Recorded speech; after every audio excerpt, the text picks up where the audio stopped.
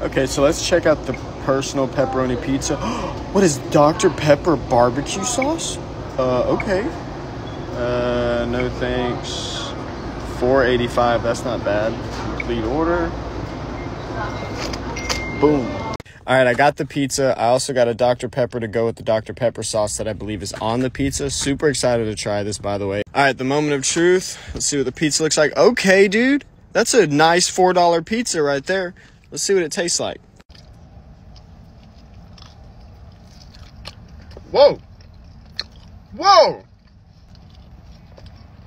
Whoa! I don't know why, but this actually works. It's actually a very good pizza. As far as the Dr. Pepper sauce, I'm not getting any barbecue sauce from this. I don't even think that's on there, so I don't know what that's about. But overall, the pizza is definitely pretty good. And for five bucks, dude, you cannot go wrong with that. So overall, good pizza, good um, food review at Sheetz gas station.